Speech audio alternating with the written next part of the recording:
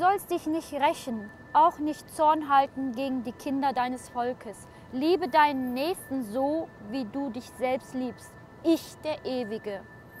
והיה ככלותך לקרוא את הספר הזה, תקשור עליו אבן והשלכתו אל תוך פרת. ואמרת, ככה תשקע בבל, ולא תקום מפני הרעה אשר אנוכי מביא עליה, ויעפו עד הנה דברי ירמיהו.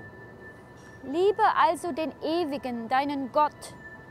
Beachte seine Vorschrift, seine Gesetze, seine Rechte und seine Gebote zu allen Zeiten.